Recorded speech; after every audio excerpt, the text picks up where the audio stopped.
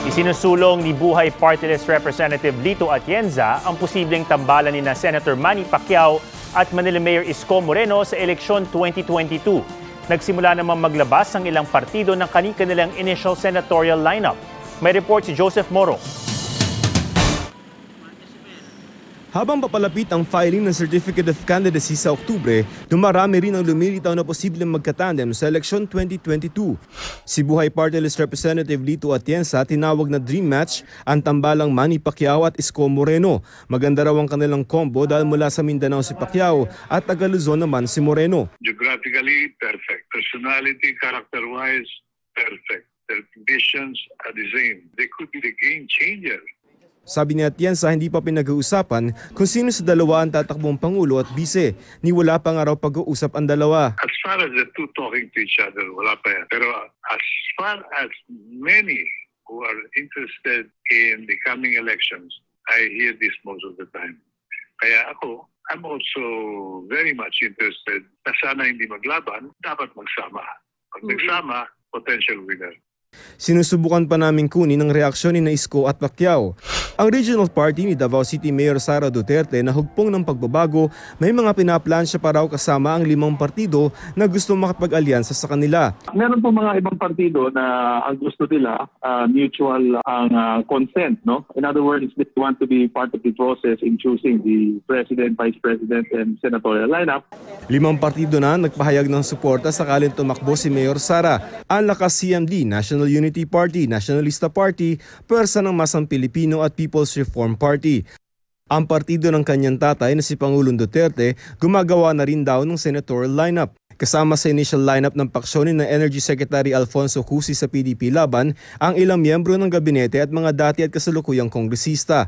Maaari rin daw masama sa listahan si Willie Revillame, Robin Padilla at ang broadcaster na si Rafi Tulfo.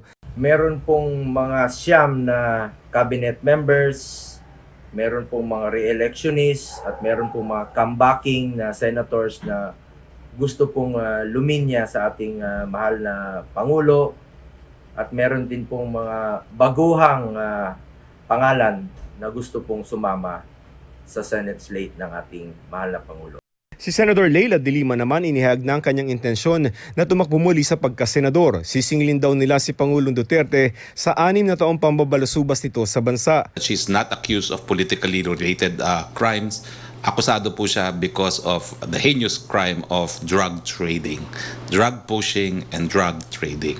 So wala pong politika dyan. Now kung tatakbo po siya, that's her right, no? Hanggang hindi pa siya convicted with finality. Sana hindi siya ma-convict with finality bago ma dumating ang eleksyon. Bueneltahan naman ni Presidential Spokesperson Harry Roque si Vice President Leni Robredo dahil yan sa pahayag ni Robredo kahapon na sakaling tumakbo at manalo si Duterte sa pagka-vice-presidente, sana raw wag nitong maranasan ang pinagdaanan niya bilang pangalawang pangulo. Binigyan po siya ng cabinet post ng ating presidente pero mas pinili niya na maging uh, um, leader ng oposisyon kaysa magtayo ng mga pabahay para sa ating mga kababayan. So yun lang po, no? tayo pong muukit ng ating tadhana at saka tignan po muna natin kung sino mananalong presidente. Sa isang tweet, tinawag ng tagapagsalita ni Robredo si Roque na sinungaling. Kalakip ang text message mula sa Malacanang na ipinadala noong December 2016 kung saan pinapasabi ni Duterte kay Robredo na huwag nang dumalo ng cabinet meeting. Wala pang pahayag dito ang Malacanang. Naglabas na rin si Senate President Tito Soto ng ilang pangalan sa kanilang senatorial candidates. Karamihan sa kanila re-electionist at mga batikan ng senador. Si Soto ang chairman ng Nationalist People's Coalition at ang siguradong katandem ni Senador Ping Lacson. Joseph Morong, GMA News. Kinumpirma rin ni Senator Tito Soto na kasama sa senatorial lineup ng Nationalist People's Coalition si late Representative Lucy Torres Gomez at si dating COMELEC Commissioner Goyo Larazabal.